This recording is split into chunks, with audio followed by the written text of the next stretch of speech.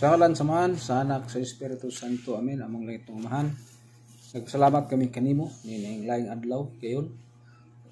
Panahon ni mong ihatag ka na mo, ginoo. Walang ini ginoo, ang pamilya banay na mo.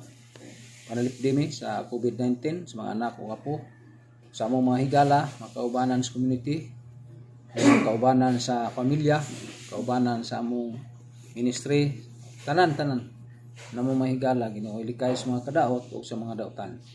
Kini among gipangayo pinagi ni Kristo nga among Ginoo. Amen. Sa ngalan samahan sa anak sa Espiritu Santo. Amen.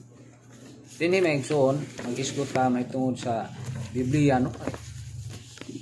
Kini ako testing ko ni kay ako mga record di man ma video. Dili man mo copies video. So mo ning akong testingan ni ron. O unsa man akong mga video di man makape. Ah ah atong topic hisgutan na to ni ah, balik-balik man eh, pero lain sa ning paghisgot na to sa maong ah, Biblia maigsuon. Dinhi ang Biblia balamang ang tuuhan. So mo na itong hisgutan maigsuon. Ang Iglesia Katolika nagtudlo nga ang tuuhan o dawaton nato ang buhing magtudlo sa iglesia. Ang apostolikanhong tradisyon o usab ang balaang kasulatan kon Biblia. Apan atong mga igsuon nga dili katoliko nagsupak niini o ania ang ilang mga katarungan. So ang ilang pagsupak ngaingon sila nga ang Biblia ra og dili pagadawaton og kapin sa nasulat sa 1 Korinto 4:6. Huwag tibo kasulatan mapahimang no makapahimo kanato nga malamon sa atong kaluwasan. 1 2 Timoteo 3:14 ug 17. Nya sa 2 Korinto 1:13 nga wala na kinahanglan ang naay mutudlo sa Biblia kay mabasa ug masabot. Mao nang sa 2 Korinto 1:13. Nya das 2 Korinto 4:2 nagtudlo ang apostoles wala na ang mga apostoles sa wala sa walay pag subli o pagsabog sa pulong sa Dios o pagsambog. Alabang sagol man na. Ay pinulungan sa sambog sagol. Pagsambog sa pulong sa Dios. Nya kanang tradisyon suma sa nila na Mateo 15:6 gutso kanang tradisyon sa Katoliko sobra sa Biblia. So dili madawat. Suma sa Kolosas 2 versikulo 8 ayaw palimbong sa mga filosofiya sa mga tao. Pinalihag 22 18 19 nga nadunggan ang pulong sa Dios o uh, pag pasidunggan uh, si sa ha sani magsubrang hampak kung inyong dugangan ang pulong sa Diyos magdugang. O madugangan sa hampak sa Diyos ang katoliko. Ni ang tubag.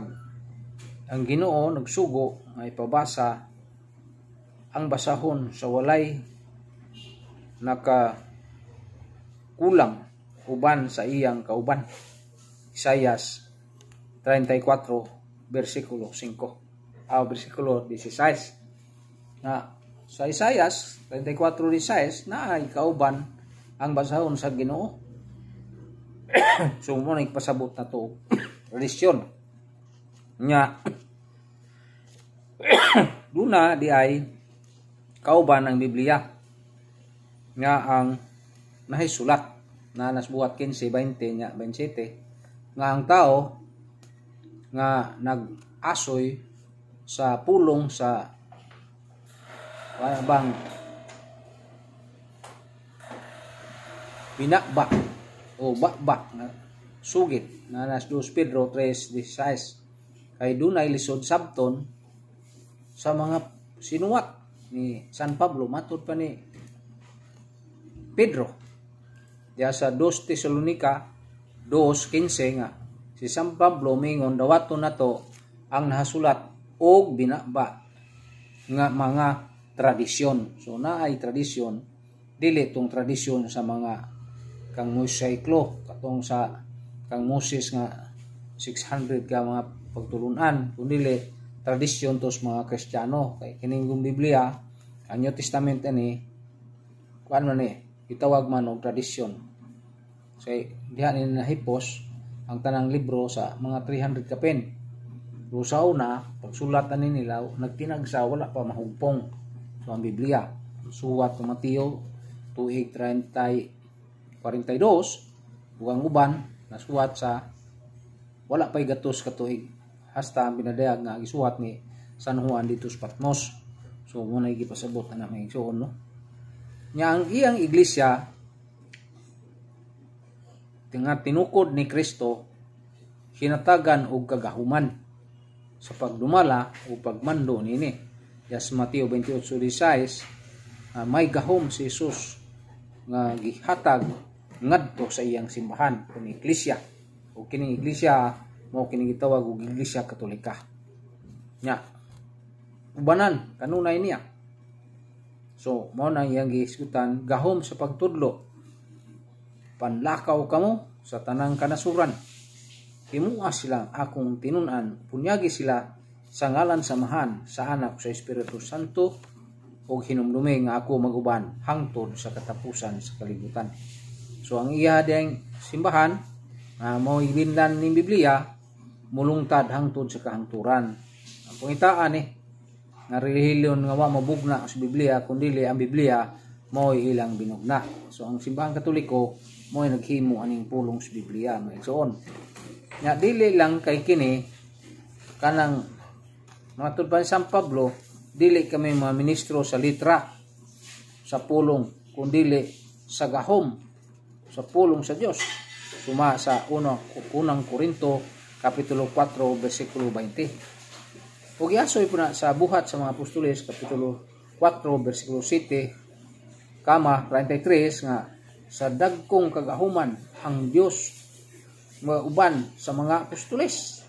Dito sa mga apostoles mga iso ihatag nila. Nya kadto si Juan Diotre Pes wala mo dawat sa kagahuman sa amuah matud pa ni San Juan. Na na San Juan 3 Juan 1:9 na ang ilang kagahuman wa lagilha ug dawata niini nga tao tawhana padayon ta nga igsuon diha sa pagingon nga ang kasulatan gahom sa pa paggiya sa pagsabot sa kasulatan. Kay kita itudlo man sa Espiritu Santo o maghubad sa kamaturan nga mao ang Espiritu Santo o Espiritu Hanon nga kinabuhi. Na nasa unang Printo 2 versikulo 13 at 16 usa kay yunuko nga nagbasa usab sa ibasa sa Biblia iagdas Filipe sa Espiritu Santo. Ang Espiritu Santo, may tudlo kang Filipe, at tu atong taong yunuko, pangutan a, na ibaw ba siya siyang ibasa. Mabasa na to na sa buhat uh, utso, niya, versikulo 24 ngadto sa 38. Nya si Apollo batid sa kasulatan apan nagkinahanglan siya og magtutudlo. Buhat uh, 18.26 na kinahanglan o magtutudlo. Nya kinahanglan og mutudlo. Hebrehanon 5 versikulo 12 nga mutudlo kaninyo ang Espiritu Santo pinagis tao so ang tao giyahan sa Espiritu Santo ug may mutudlo ngadto sa mga pagtulunan niya. Nya ana ang paghisgutan ang pagpaskahom sa pagpasaylog sala ug bunyag mga Sumala sa San Juan 20, 19 ngadto sa 23. Kaya di Agos 20, 19, nagingon ng Ginoo nga ako nagpadala kaninyo ingon nga ako gipadala sa amahan pangadto kamo pasaylua ang nakasala. So bunyagi sila. Kay bunyagod total ng papapas sala ang bunyag nga gihimo kang Kristo. So ang bunyag ni Kristo mao kanang gitawag Trinitarian Pulmura. So binunyagan sila, imua sila nga tinunan ug ang tanang mga nasod. Tanang kanasuran niya, wa pa may laing reliyon nito. Katoliko pa man. So, mo na ang ipasabuti niya ang Iglesia Katoliko. Mateo 28:19. Bunyagi sila og himuang tinunan ang tibuok kalibutan. Nya gahom sa pagdumala sa panon.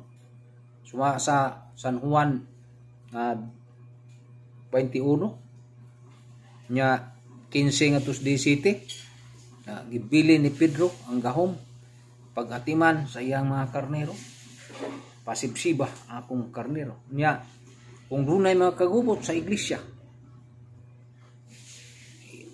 kung dunay mga kagubot dadangad to sa iglesia. Iglesia katolika Mateo 18:19 aw 17 ah, matunin ninyo ang panon nagitugyan sa Espiritu Santo buhat 20 versikulo 28 so kinsa ang magtatanaw kaninyo gahom sa pag saad sa gahom sa Espiritu Santo gahom sa pagkunsad sa Espiritu Santo so kadtong mga tinunaan ni Kristo ngayang gibilin igamhan gyud sa Espiritu Santo ug ipadayon tong gahuma hangtod karon pinagi sa tong Santo Papa o sa mga obispo mga kaparian. Amo nagdumala niini nga pag gahuma sa pagkunsad sa Espiritu Santo. Nanas buhat 8, 15 o 17 nya.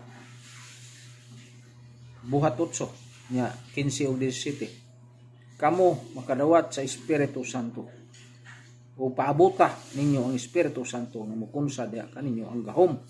Buhat 1 versikulo 8 nya miabot ninyo ang Espiritu Santo. Buhat 2 versikulo 1 ngadto 16 mi kunsad ang Espiritu Santo sa mga apostolis ug ang Santa Maria ug sa tanan nga mga apostolis. Nya na ikunsaran sila.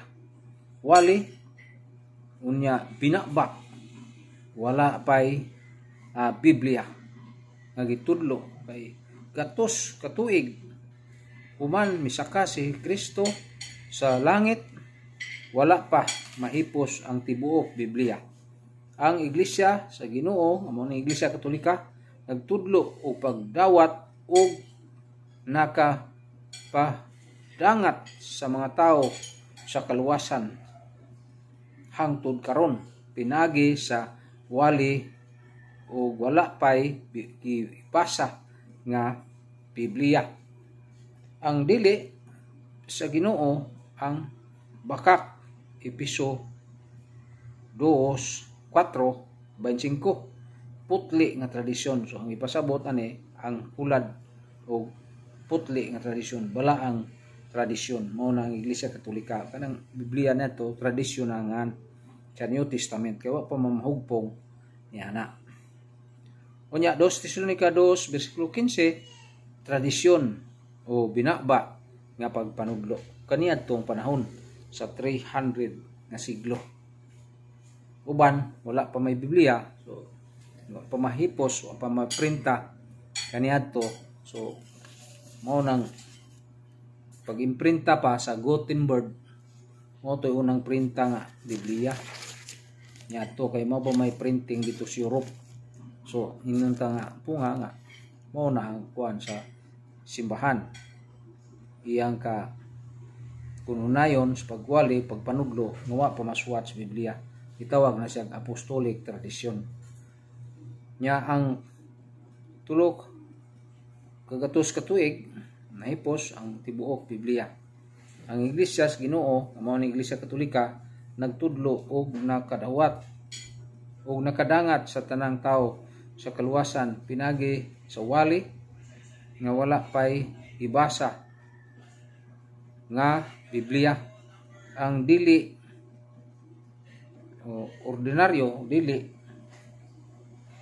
Ang dili ang gidili sa Ginoo mao ang bakak nga pagpanuglo Episo 4:25 ang simbahang katoliko o ang tradisyon itawag na putli nga tradisyon. Nya diha sa 2 Tesalonica 2:15 tradisyon nga binaba ang paghatag o pagtudlo sa mga tawhan. Uban ang Espiritu Santo ni ana nya Pilipos 4 versikulo 8 nga sa katapusan pun-ah ang inyong kaugalingon sa mga maayong butang ug ang kasing-kasing. So muna mahigsuon ang atong nahisgutan nining pila ka minuto pudyot alang sa atong pagtuon sa Biblia o pagsusi niini. Dining tanan itong pangayo salamatan sa Dios nga atong manluwas o manunubos. Sa ngalan sa Mahan, sa Anak, sa Espiritu Santo. Amen. Among lang itong amahan, salamat kami kanimo. Sa imong gugma o grasya. Paambit alang kanamo. Nga padayon na kini Ginoo. Kini mo pangayo sa alan Kristo ang Ginoo manluluwas. Uban sa mahal na Birhen Maria ug mga anghel mga santos sa langit. Amen. Sa ngalan sa man sa anak sa Espiritu Santo amen. Mayong hapon mayong butag sa tanan